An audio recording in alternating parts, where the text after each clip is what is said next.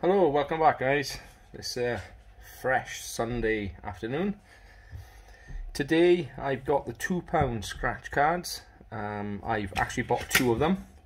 Obviously I've been doing a couple of the £5 ones but I've had no luck.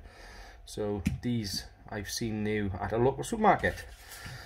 So thank you guys for subscribing, uh, much appreciated and I do apologise for the last video um, where someone complained it was clickbait but obviously some people got it wrong.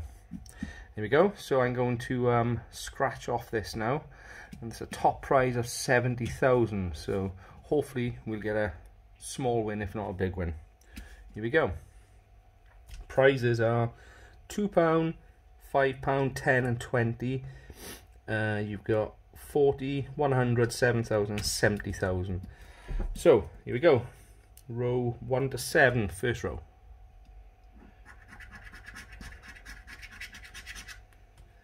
So we've got nothing on that one. Uh, nothing on that one.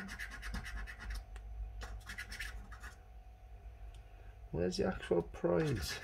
Ah, right, yes, obviously you've got to match the corresponding. There we go.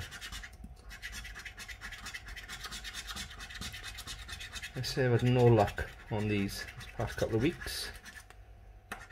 So a little win today would be quite nice.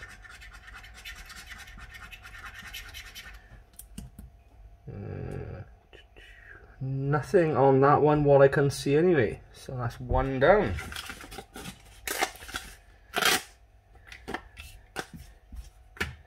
There we go. So same again. Scratch card number two. Row one. Go. See what we got there. The watch, two sevens, nothing on there. We got a seven, a coin,